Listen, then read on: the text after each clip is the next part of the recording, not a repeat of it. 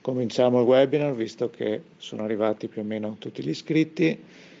Eh, innanzitutto ci presentiamo, siamo Luca Battistelli e Marco Cappellotto e ci occupiamo rispettivamente della, diciamo, della parte supporto e della parte eh, design. Buongiorno a tutti, grazie per essere qua presenti assieme a noi in, questa, in questo martedì pomeriggio.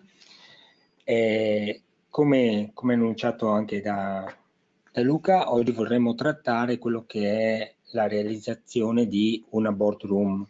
Che, permettimi, conclude un ciclo di tre webinar iniziati un mese, un mese e mezzo fa, che sono iniziati con la Room, passando attraverso una sala conferenza di medie dimensioni, fino ad arrivare all'ultimo della trilogia, che è appunto la Boardroom.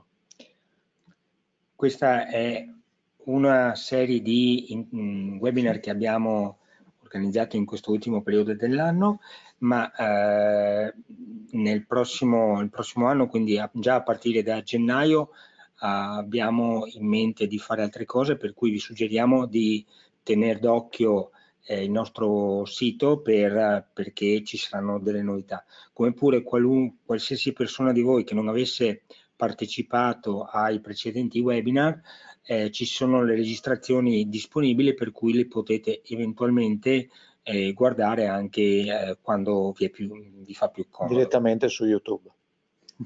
Ecco, partiamo eh, su cos'è una boardroom. Eh, per noi, eh, noi pensiamo che una boardroom sia una, una, grande sala conferenze, o meglio, dove normalmente si, si ritrovano persone dirigenti o comunque eh, un certo numero di persone sedute intorno a un tavolo, un tavolo che può essere più o meno grande e eh, quello che balza ad occhio, ad esempio abbiamo preso questo come, come idea, una boardroom fatta, vedete già in parte alcune cose che poi andremo a spiegare, ma eh, l'idea di questa sala è che è una sala mediamente grande dove ci sono in, genere 15, 20 o più partecipanti disposti intorno a un tavolo più o meno grande e eh, una delle prime necessità che serve in un ambiente di questo tipo è poter far sì che una persona eh, dal lato opposto della, della, sala senta quello che dice chi sta appunto eh, lontano da, da essa. Questa è una delle prime cose che viene richieste ma eh, ovviamente oggigiorno eh, in un contesto di eh, multimedialità eh, altri, altri, aspetti che vengono ehm, diciamo così richiesti è il fatto di poter collegare la sala a un'altra sala remota tramite telefono e quindi via rete VoIP ed ancora poter connettere la stessa sala anche in videoconferenza eh, rispetto a siti remoti. Dal punto di vista delle caratteristiche video, quello che eh, abbiamo considerato, almeno noi nell'esempio che esporremo fra poco, di considerare eh, diversi punti di connessione video eh, sopra il tavolo. Eh, in questo esempio specifico potremmo mettere anche 3-4 eh, punti tranquillamente distribuiti in modo tale da dare la possibilità di condividere il contenuto del proprio laptop e eh, contestualmente dà la possibilità di fare la connessione con la sala remota in videoconferenza. Utilizzeremo in particolare un punto diciamo, di ingresso ed uno di uscita proprio per sfruttare un, nella nostra ipotesi un codec eh, per videoconferenza di terze parti. Ultimo aspetto, questa dell'esempio è una sala molto luminosa per cui è anche di eh, diciamo, discrete dimensioni, quindi è necessario avere un display con l'idonea luminosità e, e ovviamente anche dimensione. Iniziamo ad analizzare punto per punto le esigenze e quindi proviamo a dare una risposta a queste esigenze. Allora, nel momento in cui cominciamo ad avere 15-20 partecipanti intorno a una sala, ecco che pensare ad un sistema con pochi microfoni risulta poco, poco agibile, anche perché eh, chi chi è seduto dall'altra parte della sala ovviamente eh, ha difficoltà a avvicinarsi a pochi microfoni. Quindi la cosa ideale è poter distribuire un microfono ad ogni partecipante o a, a, nel caso dare un microfono ogni due partecipanti. E il fatto che queste persone siano distribuite intorno a un tavolo fa sì che anche la distribuzione poi dell'amplificazione non sia così semplice da uh, gestire. Diciamo che ci viene incontro quello che eh, normalmente viene chiamato un conference system, quindi potremmo dire che queste prime eh, tre punti, quattro punti delle, della nostra, del nostro aspetto audio può essere sopperito da un sistema conference system, il quale oltre a gestire n microfoni collegati uno dopo l'altro, permette, grazie all'altoparlante interno, anche di far sentire quello che uno sta dicendo anche sulla base stessa. Questo ci aiuta in questo specifico contesto, visto che eh, essendo una sala piuttosto alta, collocare i diffusori a controsoffitto in alto risultava pressoché difficile, ma soprattutto poco efficienti visto anche uh, la riverberazione della sala. L'altro aspetto che si voleva mettere in evidenza era che un conference system in un contesto del genere non è sufficiente, ma serve qualcosa per poi mettere in comunicazione questo sistema a una sala remota via VoIP e una sala con la videoconferenza. Ci viene in aiuto la matrice, una delle ultime matrici eh, create da Biamp, eh, la Tesira Forte eh, VT4, la quale è una matrice proprio pensata per queste applicazioni, diciamo così, dove abbiamo quattro ingressi audio e quattro uscite audio, quindi un limitato numero di ingressi e di uscite, ma dispone già della connessione VoIP per poter parlare verso eh, sistemi di, eh, su, su, telefono fondamentalmente. Aggiungo solo una nota, eh, tutti gli ingressi hanno la cancellazione d'acqua acustica, ovviamente parlando di videoconferenza e in generale di teleconferenza questo è indispensabile.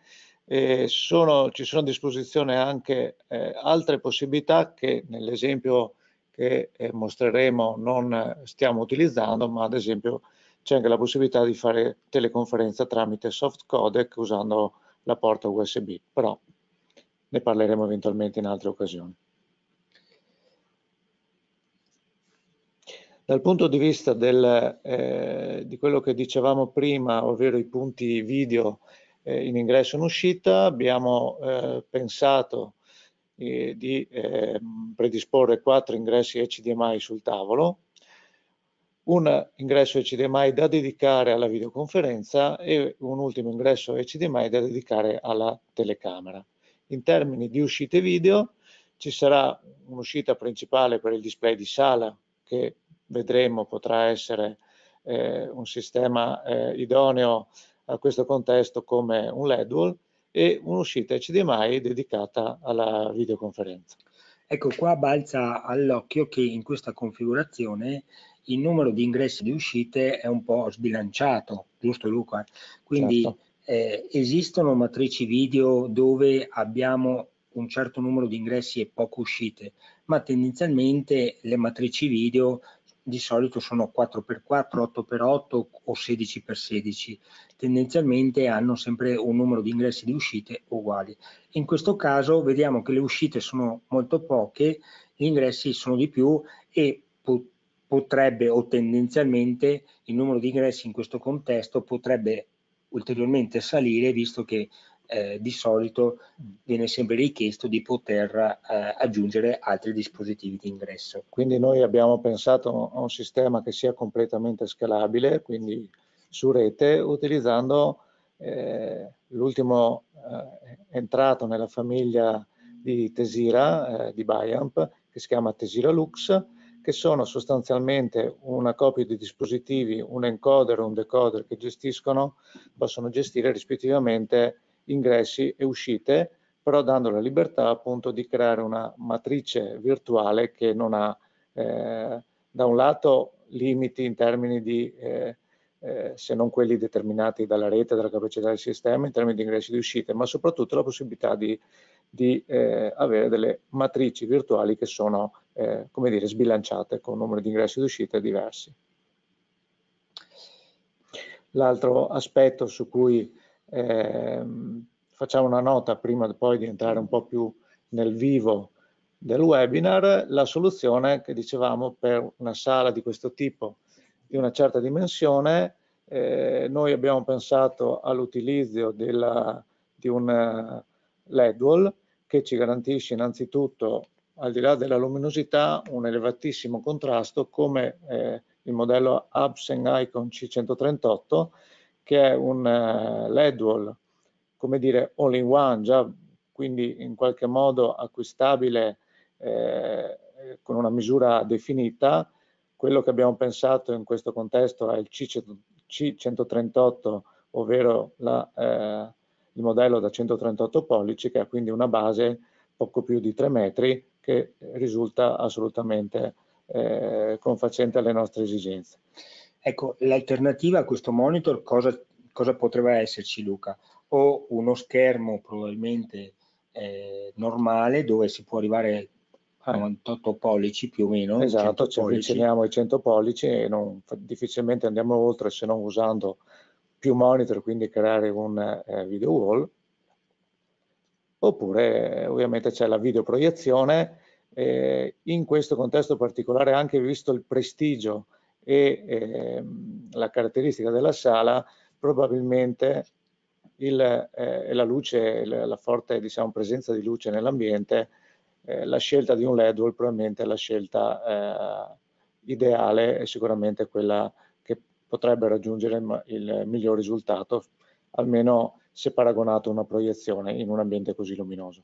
Sì, anche perché dobbiamo sempre ricordare che il, il nero su un telo di proiezione è il bianco, ma eh, tendenzialmente se l'ambiente è luminoso quel bianco non è nero, ma bensì è una luce che è una via di mezzo, quindi serve molta luce per ottenere un contrasto decente, ma che non è sempre facile da, da ottenere. Da ottenere.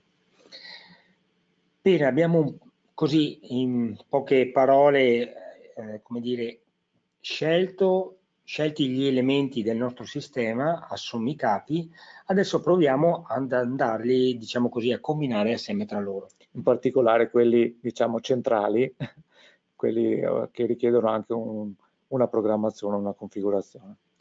Allora, partiamo da quello che dovrebbe essere la prima parte del sistema, quindi un sistema, diciamo così, conference system, costituito da un certo numero di basi collegate tra di, tra di esse tramite un cavo che, categoria 6 schermato che ci dà la possibilità appunto di ehm, gestire audio e anche diffusione, rinforzo della voce direttamente di fronte alla persona con, stesso, con lo stesso sistema.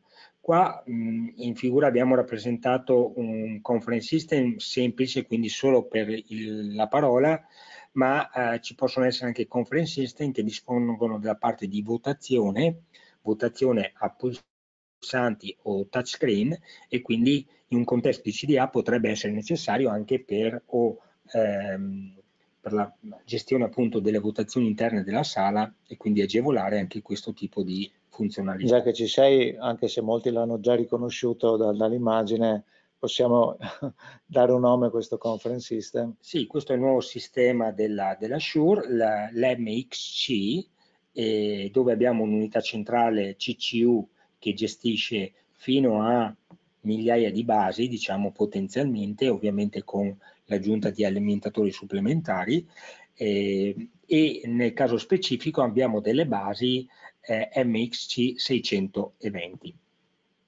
Continuando andiamo a posizionare o collegare la nostra Tesira Forte VT4, la quale Mm, diciamo così, il conference system ci dà un'uscita audio e noi la andiamo a collegare ad una di queste uscite, a uno di questi ingressi.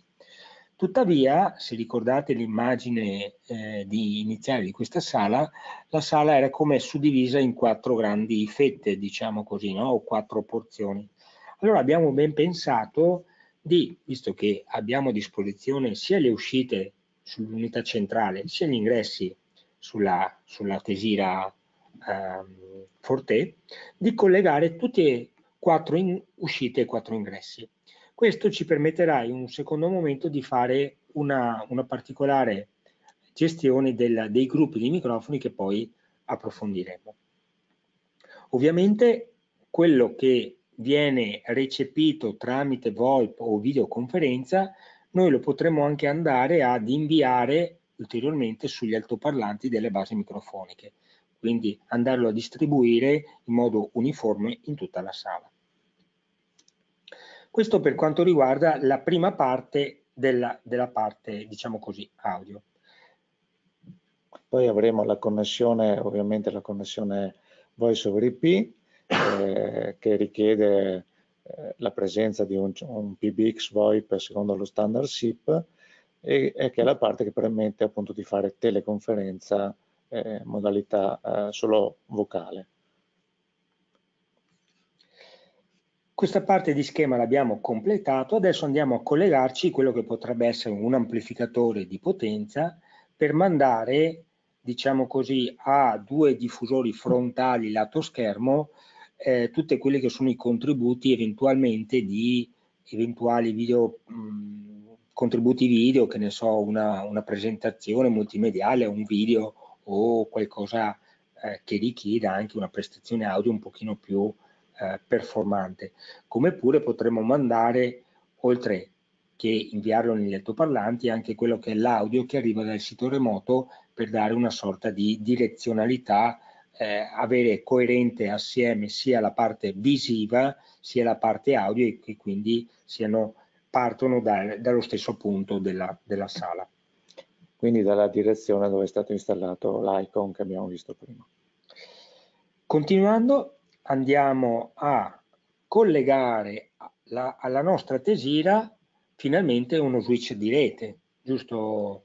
Um, Certamente, tra l'altro questo è uno switch che eh, dobbiamo prevedere compatibile con eh, la famiglia di protocolli AVB, Audio Video Bridging, perché eh, è il protocollo diciamo, nativo scelto da Biamp per la sua distribuzione audio ad eventuali espansioni, ma in questo caso anche video eh, con il sistema Lux, che sarà il successivo elemento da prevedere nel sistema, anzi i successivi elementi da installare nel sistema, rispettivamente encoder e decoder. Andiamo quindi a collocare, abbiamo pensato di collocare, come abbiamo detto, quattro dispositivi di ingresso sul tavolo, distribuiti nel tavolo, collegati ovviamente tramite un qualsiasi cavo di rete allo switch principale. Si chiamano IDH1, sarebbe possibile anche una connessione a 10 giga, ma la qualità del, della compressione MJPEG implementata by AMP è considerata visually lossless, quindi di ottima qualità e permette di lavorare anche con dei link standard da 1 gigabit, premesso ovviamente che sia implementato il protocollo AVP. A questi andiamo poi a, ad aggiungere un dispositivo che riceve la videoconferenza e un dispositivo a cui invece viene collegato una telecamera per le riprese in, in sala, anch'essi collegati agli ingressi, agli ingressi IDH1 di Tesira Lux. Ricordo tra l'altro che questi dispositivi permettono di collegare sia un ingresso di tipo HDMI sia un ingresso DisplayPort e quindi avere un doppio formato di connessione. E tutti questi dispositivi dispongono anche di una porta seriale e quindi eh, risulta comodo dallo stesso dispositivo che verrà posizionato nei pressi della telecamera eh, collegare direttamente la porta seriale e quindi ci permette già di gestire una serie di puntamenti della telecamera che, come vi dicevo prima, noi li andiamo direttamente a gestire grazie alle quattro uscite presenti nella nella nostra CCU. Cioè andremo ad associare un gruppo di microfono all'uscita 1, un altro gruppo all'uscita 2 e così via, e quindi la telecamera tramite il sistema Tesira verrà puntata in funzione di quale ingresso sente la telecamera, in, eh, scusate, la matrice Tesira in ingresso. Quindi quale gruppo il microfono è attivo in quel momento, creando un, un sistema di puntamento automatico senza aggiungere un, un sistema di controllo esterno. Continuiamo, andiamo a posizionare i due dispositivi di uscita finalmente, uno verso la videoconferenza e uno verso il nostro LED di sala. In questo caso parliamo di, del dispositivo chiamato OH1, dispositivo d'uscita che ha l'uscita solo di tipo HDMI. Anche questi dispositivi comunque hanno a bordo porta seriale, possibilità di avere link a 10 giga, eh, quattro contatti come tutte le macchine server del mondo Tesira, compresa Tesira Forte, e quindi in realtà danno o darebbero eh, molte opzioni di integrazione ulteriori. Noi cercheremo però di focalizzarci su quello che abbiamo descritto fino a questo momento senza, senza mettere troppa carne al fuoco, visto che il sistema nella sua semplicità comunque comincia a diventare già abbastanza articolato. Ecco, lo schema del sistema è più o meno fatto, finito. Certo e eh, noi l'abbiamo riproposto qua sopra il nostro tavolo. Eh, versione ridotta perché non potevamo usare tutti questi encoder, però insomma ne abbiamo previsti. Eh, abbiamo previsto tre. fondamentalmente uno che ci rappresenta il tavolo, uno di questi quattro, uno che ci rappresenta l'ingresso della videoconferenza, uno per la telecamera e i due che vanno verso le due uscite della, della nostra utenza, appunto videoconferenza e LEDWALL. Il LEDWALL l'abbiamo rappresentato da un semplice piccolo monitor proprio per potervi mostrare tutto con una telecamera, mentre per quanto riguarda il conference system abbiamo collegato quattro basi eh, diverse tra loro proprio per farvele anche vedere così eh, nella loro diversità che ci rappresentano fondamentalmente i, i quattro macro gruppi o settori della nostra, eh, de, della nostra sala boardroom. Perdonateci, non abbiamo connesso amplificatori altoparlanti, senza nulla togliere, sono la parte in questo momento meno complessa e quindi eh, abbiamo evitato insomma, di installarla per non complicarci la vita. Sì, ecco, questa, fammi riuscire a far vedere, allora, la, credo che abbiate accesso voi, al, ehm, anzi abbiate visibilità sulla telecamera e di conseguenza la potete anche eventualmente ridimensionare se volete zoomare eh, utilizzando insomma la finestra che, vi per, che spli, sta splittando a metà lo schermo tra presentazione e, e telecamera la telecamera sarà fissa ma in qualche modo eh, noi adesso vi faremo capire e vedere quello che succede in tempo reale man mano che configureremo il sistema. Quindi adesso quello che faremo è andare a configurare via via gli apparati e quindi inizieremo dal sistema di conferenza e quindi poi il sistema Tesira nella, nella sua parte audio e quindi il sistema Tesira nella sua parte video. Per farlo ovviamente usciamo un momentino dalla, dalla presentazione e andiamo direttamente a, a, vedere di connettersi al sistema eh, conference system. Sistema conference system noi abbiamo una serie di microfoni, quindi quelle che sono le impostazioni fondamentali o principali del nostro sistema. Quello che a noi ci interessa andare a configurare in questo caso è mettere ognuno dei microfoni, o meglio, qua ne potremmo avere n collegati, ma fondamentalmente ognuno collegato e che dà una propria uscita a un gruppo diverso.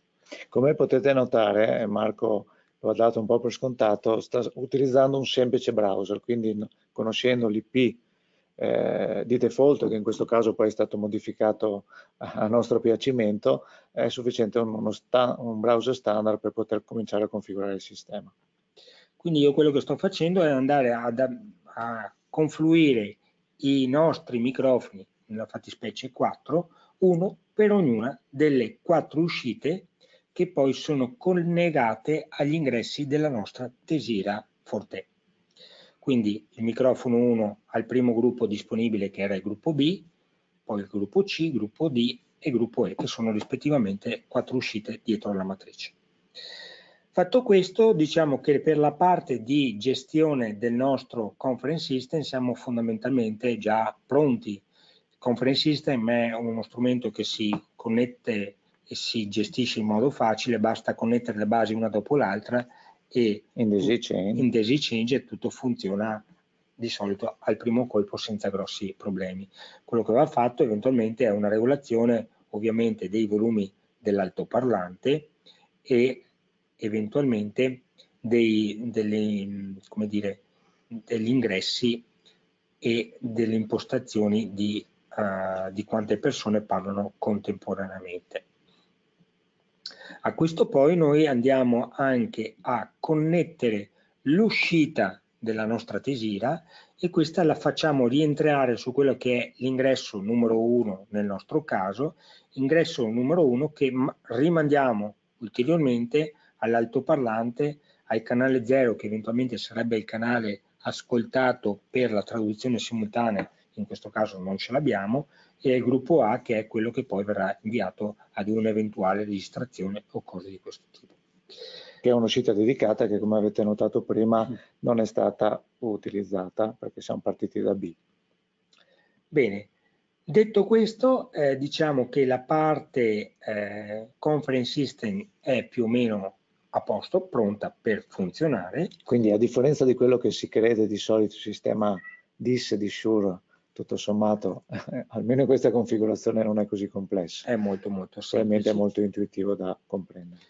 Ci spostiamo ora in quella che è la parte di Tesira. Tesira. Qua cosa abbiamo fatto? Abbiamo caricato quella che è una configura la configurazione che voi trovate direttamente dentro le apparecchiature quando la sballate, la portate, la coestate, la portate a casa e eh, a questa configurazione che vedete già online, ce l'abbiamo qua pronta che sta funzionando, abbiamo fatto altro che eh, collegare i dispositivi, creare una seconda partizione video e andare a collegare quelli che sono i dispositivi video che nella fattispecie abbiamo individuato come l'uscita video l'uscita alla videoconferenza, l'ingresso, quindi l'HD eh, IDH1 della, collegato alla telecamera, quello collegato alla videoconferenza che in questo caso non è collegato, e uno dei quattro che sarebbero quelli destinati al tavolo oratore. In questo caso quindi già intuitivo capire che ognuno dei blocchi che vedete rappresentati in rosa corrisponde ad effettivamente ha un'unità fisica, sulla sinistra gli encoder, sulla destra i decoder e quindi proprio in un rapporto 1 a 1. Al centro però abbiamo aggiunto anche quello che si chiama audio video router, potremmo chiamarla la matrice eh, video in versione software. In questo caso è una 3x2, 3 ingressi, 2 uscite. A definitivo ovviamente avremmo dovuto avere ulteriori eh, 3 ingressi, quindi sarebbe diventata una 6x2. Ecco qua adesso andiamo a fare una semplice commutazione e se qualcuno di voi ha la telecamera attiva e lo vede nel proprio schermo dovrebbe vedere che sul nostro display stiamo ora trasmettendo, facendo vedere quello che è la ripresa video della telecamera che è iniettata tramite un cavo HDMI dentro l'ingresso mm, numero 3, quindi della telecamera dell'IHD1 eh, dedicato alla telecamera. Ovviamente questa parte di controllo tendenzialmente noi l'abbiamo fatta eh, da, da, questa uh, interfaccia software, che è la stessa che usiamo per la pro programmazione, ma eh, potrebbe essere anche tranquillamente controllata da un sistema di controllo di terze parti. Noi potremmo suggerire Atlona Velocity, però insomma non è argomento eh, diciamo del webinar di oggi. Diciamo che eh, grazie a tutte le funzionalità di Tesira eh, possiamo creare un piccolo sistema di automazione anche eh, in questo caso della telecamera grazie alla porta seriale che sta dentro appunto al dispositivo. Il, questo dispositivo che connette diciamo così la telecamera ha una sua porta seriale che l'abbiamo collegata alla telecamera. Noi adesso direttamente dal, eh, dal layout Tesira, che è a, a tutti gli effetti online, ci scolleghiamo momentaneamente e cominciamo a personalizzarlo e a crearlo come piacerebbe a noi per tutte queste ottimizzazioni che dicevo prima. Per comodità abbiamo già preparato qua un modulo con le stringhe seriali in quanto, ehm, in quanto eh, abbiamo preferito scriverle mh, mm, già noi a mano mh, mm, in quanto serviva a scrivere questi comandi e quindi per, per, non perdere troppo tempo durante il webinar li abbiamo già preparati noi. Ovviamente leggendo la documentazione della telecamera AREC che stiamo utilizzando in questo momento. Quindi semplici stringhe seriali, l'unica nota interessante, a parte un cablaggio con un cavo incrociato dell'RS232 con il cavo in dotazione più un cavo per fare l'incrocio, eh, è eh, che essendo le stringhe di caratteri esadecimali è necessario utilizzare quel carattere speciale che nel mondo Tesira è il tilde che intravedete eh, in questo serial command string. Detto questo, come, come possiamo operare? Semplicemente eh, possiamo, ehm, togliamo questo che appunto rappresenta quello che è lo standard, allora, noi abbiamo che per ognuno di questi ingressi corrisponde una porzione della sala. Ora qua possiamo mettere un dispositivo che quando sente uno di questi ingressi attivi ci dia una stringa di uh, comando. I dispositivi che fanno queste sono fondamentalmente due nella famiglia Tesira. O andiamo a mettere un eh, automixer, in questo caso da quattro canali con quattro uscite, e questa è una possibilità. Tuttavia a noi non interessa miscelare perché tra l'altro questo, sta, questo gain sharing mixer lo possiamo anche togliere e andare diretti perché tanto è direttamente chi preme il tasto del microfono che abilita il suo microfono, quindi non abbiamo la necessità di gestire un'automazione dei microfoni. Ci interessa più che altro sapere quale di questi è attivo in ogni momento. Esattamente. Questo è uno dei metodi, ma un altro metodo è mettere eh, un signal meter present meter con le uscite logiche, in questo caso da quattro canali. Questo è un dispositivo che fa altro che, diciamo così, è un LED che si accende quando arriva un certo segnale e noi potremo mettere un segnale molto basso, in modo tale che si attiva anche col fruscio dell'attivazione. Una volta che il microfono sarà aperto sarà sufficiente anche un po' di rumore di fondo per, per dare la segnalazione di microfono aperto sostanzialmente. E con questo potremmo anche andare a gestire, come, come dire, dei tempi di attacco e di rilascio, cioè nel senso eh, quando diventare off e on e quindi dare un minimo di delay tra eh, questo stato e dopo quello che sarà la stringa verso l'uscita grazie appunto a delle logiche che questo dispositivo ha verso l'uscita. Questo meccanismo che eh, si chiama antirimbalzo letteralmente risulta molto utile nella gestione delle telecamere per evitare che le telecamere repentinamente eh, puntino, passino da un preset all'altro quando eh, magari una persona solo temporaneamente ehm, smette di parlare o in questo caso chiude il proprio microfono ma ha intenzione di riaprirlo subito dopo. Quindi è una sorta appunto di, eh, di steresi che ci evita di richiamare inutilmente i preset delle telecamere. Ecco, detto questo, a questo punto il getting mix lo possiamo cancellare perché preferiamo usare il signal meter pre, eh, present meter. Andiamo a collegare a questo ovviamente gli ingressi audio che arrivano e sono stati collegati i primi quattro ingressi e questo ha, ha queste quattro uscite che quando si abilita come dire, il meter abilita, diventa 1 e di conseguenza va a richiamare il preset corrispondente. corrispondente.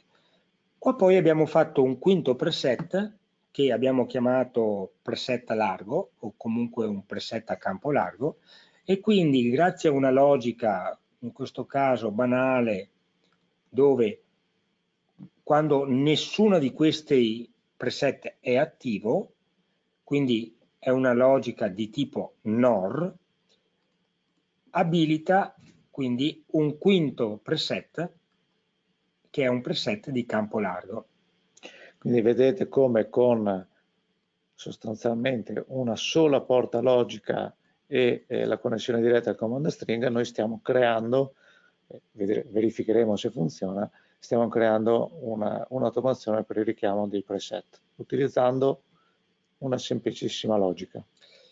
Per analizzare poi cosa sta succedendo mettiamo anche dei, mm, diciamo così, dei logic meter ok, che ci permettono di andare a vedere direttamente quando si attiva una logica piuttosto che l'altra.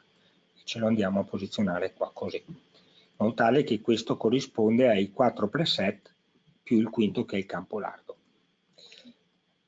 Questa è una modifica che riguarda la parte di controllo. Adesso dobbiamo pensare invece alla modifica di questo layout per l'interazione. Vedete che la parte VoIP in matrice è già presente, la parte microfonica è già presente, le uscite che abbiamo nominato rispettivamente, la prima conference, ovvero è l'uscita che viene collegata all'ingresso del sistema conference di Shure, e i, i, due canali successivi sono rispettivamente left e right eh, che vanno al sistema di amplificazione e alle due colonne. La quarta uscita invece l'abbiamo lasciata nominata out 4 perché non è utilizzata nel nostro esempio e le uscite per il VoIP e per il riferimento del cancellatore d'eco sono già predisposte. Noi dovremmo andare ad aggiungere a questa matrice almeno un ingresso monofonico, quindi effettivamente un ingresso in più, un'uscita in più per il sistema di videoconference.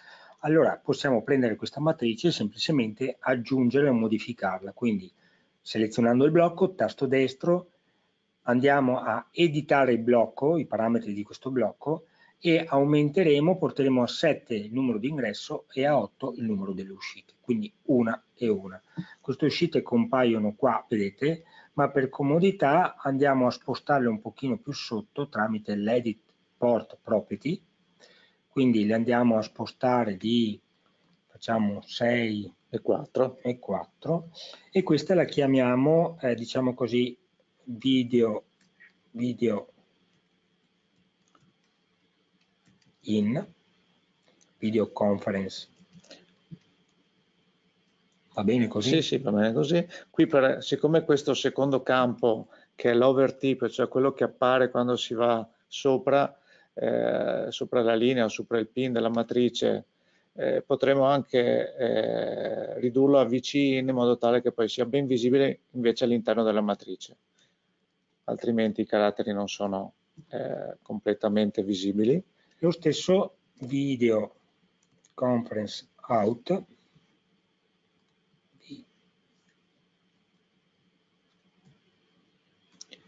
e rispettivamente VC out. Qua possiamo fare apply o dare direttamente l'ok e vedete che si nominano anche le etichette. Se Marco apre la matrice vediamo che le etichette del canale di ingresso e di uscita che abbiamo aggiunto sono anche riportate grazie a quella terza colonna che abbiamo visto prima all'interno della matrice, ci rende la matrice molto più leggibile. Bene, adesso come andiamo a collegare questa partizione con la partizione video, Luca? Facci vedere tu. Allora, torniamo nella partizione video, una nota che prima non abbiamo enfatizzato è che questa è una partizione creata eh, in versione da 1 gigabit perché come vi, abbiamo detto usiamo delle connessioni standard, standard da 1 gigabit. Abbiamo inserito usando la toolbar qua in alto rispettivamente gli encoder, i decoder e quella che abbiamo chiamato matrice virtuale eh, che è l'audio video router. Quello che non abbiamo predisposto è eh, come dire, il eh, il fatto di prelevare il segnale audio dal sistema di videoconferenza di terze parti. Per farlo e per trasmetterlo alla eh, partizione audio, per fare tutte le elaborazioni che vogliamo e in particolare per farlo arrivare alla matrice che abbiamo appena modificato, andiamo nel menu Speciality Blocks, Partition Connector, qui esistono l'audio video TX, l'audio video RX che fra poco capiremo di cosa si tratta. Allora, eh, per fare questo selezioniamo semplicemente uno stream, perché è un canale, un singolo canale che portiamo dall'altra parte. Per prelevare l'audio, noi diremmo con i sistemi classici di embeddare eh, l'audio, eh, semplicemente tiriamo una linea così da quella che si chiama uscita audio-video del blocco videoconferenza. Con questa semplice linea noi non abbiamo fatto altro che come dire, dembeddare l'audio per mandarlo alla partizione, trasmetterlo alla partizione audio. Andiamo quindi nella partizione audio, qui dovremo mettere sempre dal menu Speciality Blocks un partition connector che ci permette di ricevere dalla partizione video, quindi video to audio RX, quel canale monofonico, facciamo subito un doppio clic sopra, vediamo sulla colonna di destra tutti i trasmettitori disponibili, ce n'è uno solo, è quello della partizione video, stream 1, facciamo un doppio clic e così abbiamo effettuato il, eh, la connessione con quel trasmettitore. Fatto questo possiamo selezionare un blocco iPass e parametrico e con, la, con il CTRL D li replichiamo così facciamo la stessa elaborazione. Possiamo quindi fare la connessione di questi due blocchi. Aggiungiamo al volo anche per questo canale in più un controllo di livello. Sposto tutto leggermente a sinistra per farmi spazio e posso andare all'ingresso della matrice. Aggiungo per comodità, come è stato fatto anche per altri canali, un audiometer versione picco per monitorare la presenza di segnale quando saremo online. Per quanto riguarda l'uscita, aggiungiamo semplicemente anche qui eventualmente un controllo di livello e poi un oggetto partition connector eh, audio to video TX, quindi trasmettitore da partizione audio a partizione video, sempre monofonico. E se necessario, anzi di solito è necessario anche qui un bel meter per effettuare il monitoraggio del livello di segnale. Questa modifica ci permette di completare la partizione audio, torniamo sulla partizione video, dobbiamo solo eh, rimandare tramite l'HDMI questo segnale audio. Come facciamo a riceverlo e, e a embeddarlo nuovamente nel segnale video? Usiamo lo, intanto il partition connector ricevitore, doppio clic sopra, vediamo lo stream della partizione audio qui sulla destra, doppio clic, e lo abbiamo connesso. E a questo punto, non so se Marco vuole aggiungere una note, aggiungiamo un oggetto particolare che si chiama Audio Video Combiner. Lo scopo dell'Audio Video Combiner è appunto quello di fare l'operazione inversa a quella che abbiamo fatto prima, estraendo semplicemente, collegando questa linea, l'audio dal, eh, dall'encoder video faccio la connessione dell'audio che mi arriva dall'altra partizione, scollego semplicemente questa linea che mi arrivava dal router, la faccio passare attraverso il combiner e a questo punto sposto leggermente il blocco, faccio la connessione. Vedete con questa operazione stiamo facendo quello che ah, eh, nella stragrande maggioranza dei casi facciamo con, utilizzando dell'hardware esterno come degli embedder o dei, dei embedder. Riordiniamo un po' per precisione. Cosa vuol dire Luca? Che adesso abbiamo iniettato dentro a questo segnale l'audio che arriva dai nostri microfoni comunque dalla nostra matrice che sta nell'altra partizione? Certamente, abbiamo elaborato e eh, come dire, mixato tra di loro i canali, qualora fosse necessario in questo caso anche il sistema conference ci dava un solo canale, però avremmo potuto farlo, per poi embeddarlo nell'HDMI e mandarlo direttamente al sistema di videoconferenza.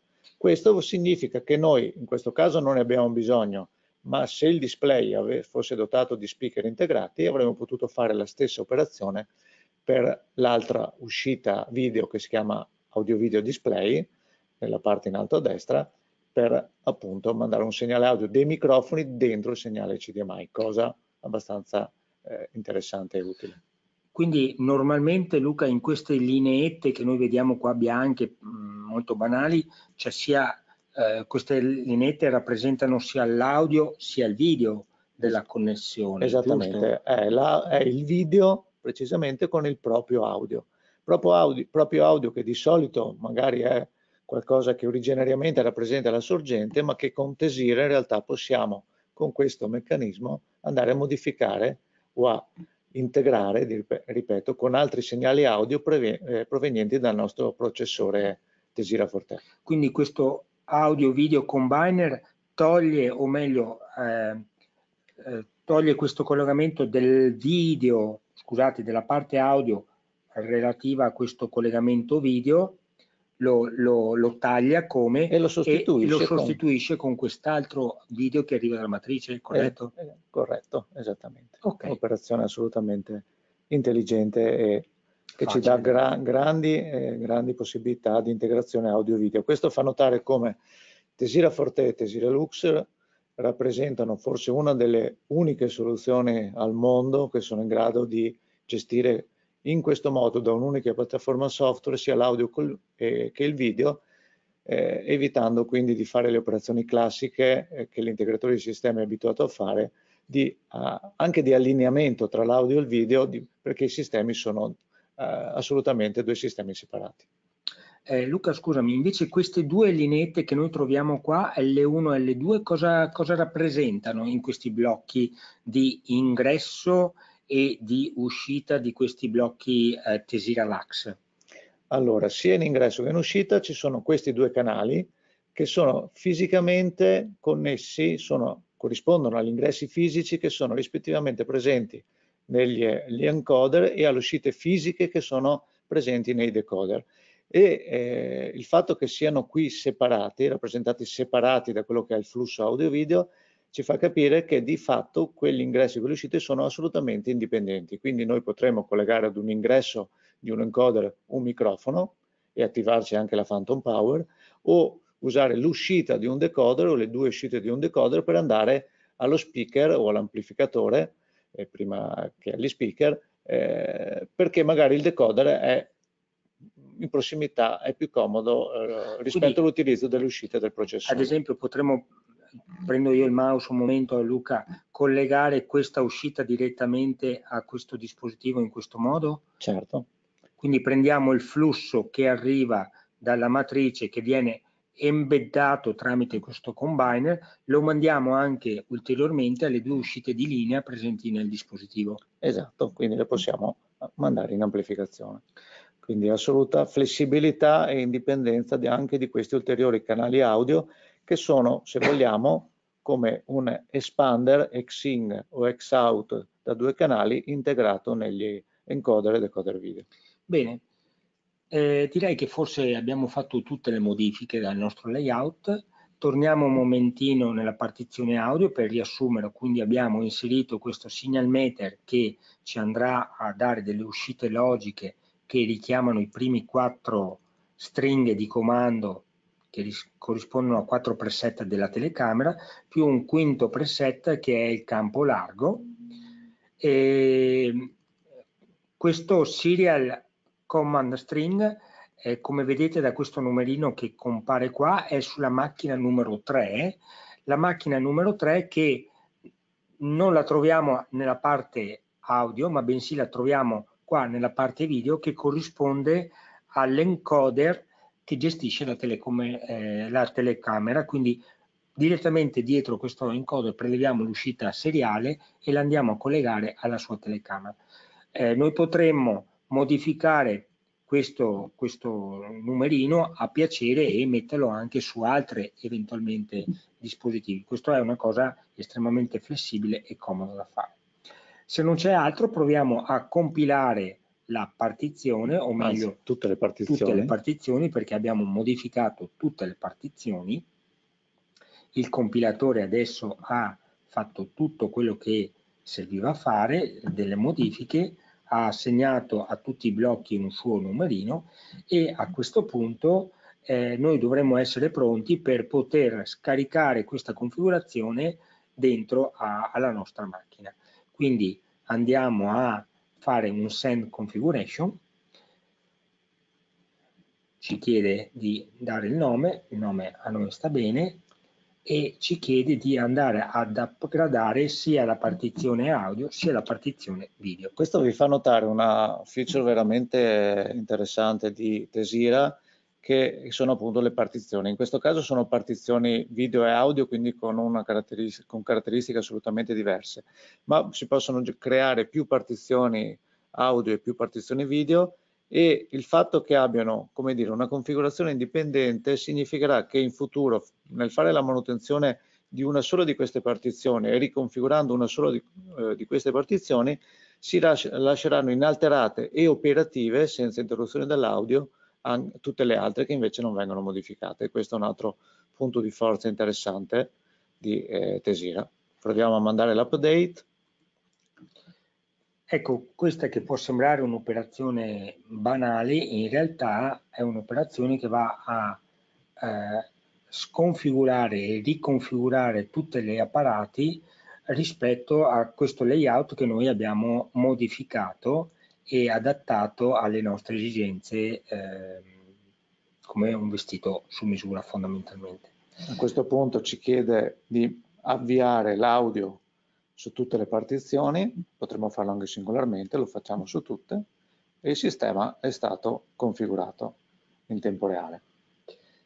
Ora lui sta ripartendo, sta sincronizzando tutti i dispositivi, noi chiudiamo questa finestra Dobbiamo sicuramente attendere ancora alcuni secondi perché come diceva Marco eh, tutto il sistema è stato riconfigurato, DSP, encoder e decoder e in più ovviamente i flussi, gli stream audio-video su EVB devono essere ripristinati sul, sullo switch. Quindi è un'operazione che eh, può richiedere anche eh, quasi un minuto, insomma. Attendiamo solamente... A seconda di quante macchine sono presenti nella sala nella, nel nostro sistema.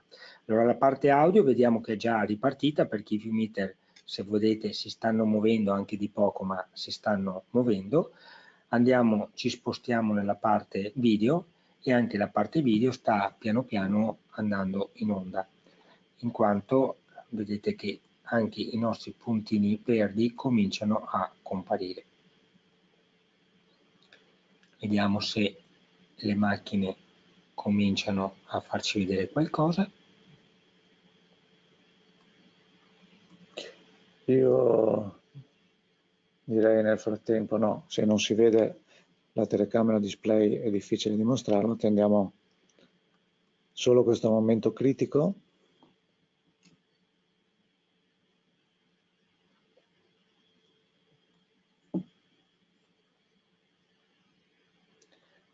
un attimo di, di panico.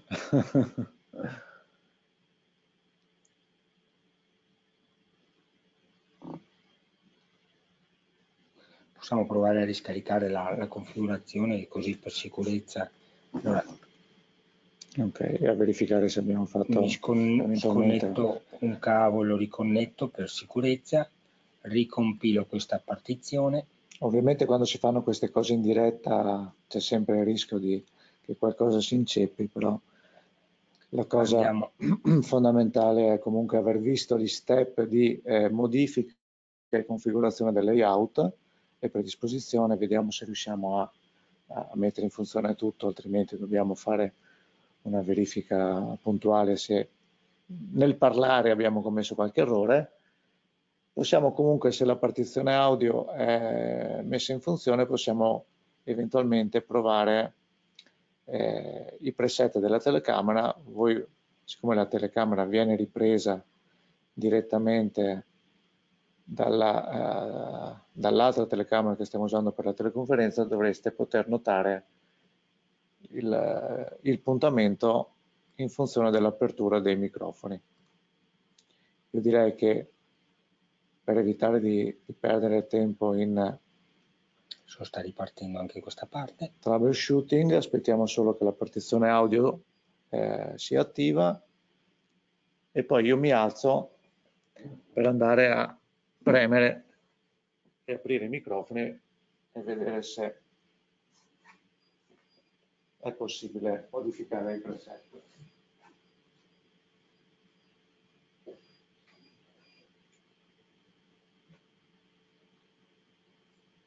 Andiamo in via.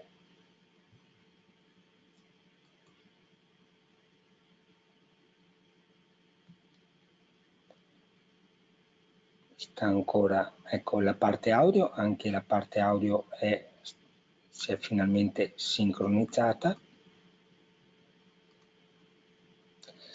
allora quello che possiamo fare adesso fondamentalmente stiamo vedendo il preset campo largo adesso Luca ha premuto il secondo microfono e vedete che si è attivato questo e che automaticamente dovrebbe aver richiamato un preset sulla telecamera. Vediamo se spento questo ha richiamato il preset largo. Siamo andati sul microfono numero 3. Vediamo se nel frattempo riusciamo a far ripartire la parte video. Forse si tratta di staccare e riattaccare la telecamera e l'HDMI.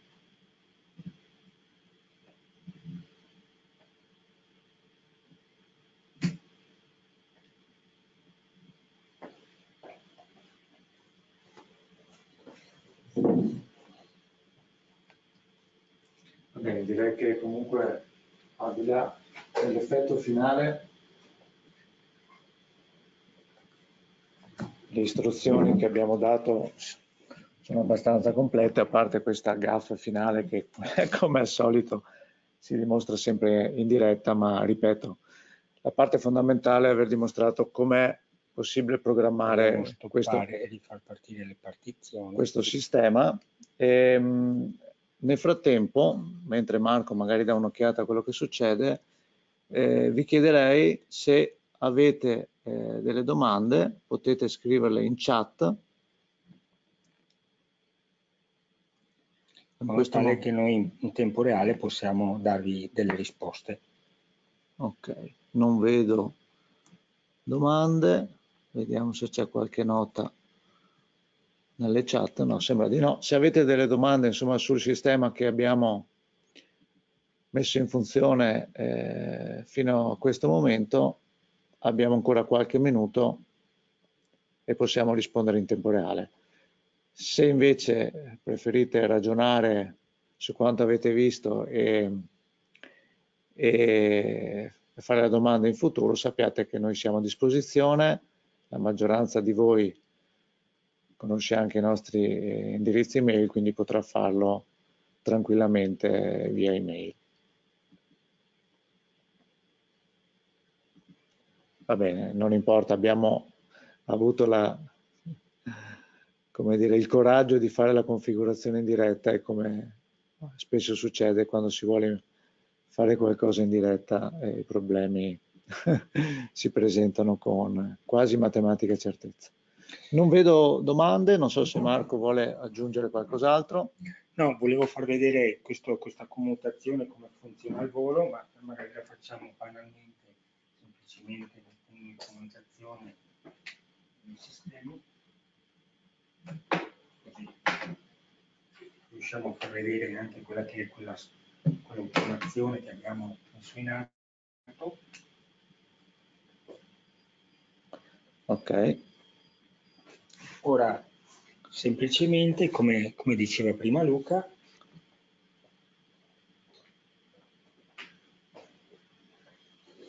mi sposto dai microfoni e andiamo a richiamare quello che è la parte di microfono.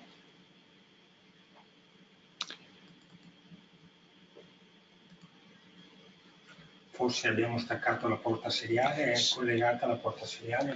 Sì, no, ma la porta seriale è collegata, ma eh, se in questo momento l'encoder non ha preso correttamente la configurazione, probabilmente non funziona anche l'invio della stringa seriale. Non ci resta altro che dirvi che dovete fidarvi di noi che eh, fino a 5 minuti prima della presentazione abbiamo collaudato il sistema, ma evidentemente fare dei tentativi uno dopo l'altro per poter eh, fare una demo il più possibile esplicativa, in questo caso è stato controproducente. Direi che se non ci sono domande a questo punto siamo a qualche minuto oltre il tempo a disposizione e se Marco è d'accordo ci salutiamo e ci sentiamo nel, con il nuovo anno per il prossimo webinar che pianificheremo.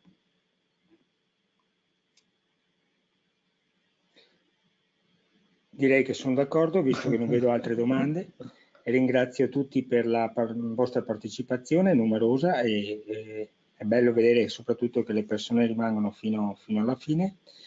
E, mh, vi ricordo che, come, come detto all'inizio, eh, ci sono in programma tutta una serie di eh, webinar e di corsi che mh, oramai siamo sotto vicino a Natale, quindi mh, verranno fatti solo, diciamo così, a, a, inizio anno nuovo e quindi vi suggerisco di andarli a, a vedere sul nostro sito. Ancora eh, vi ricordo per chi non le avesse viste le eh, precedenti puntate dei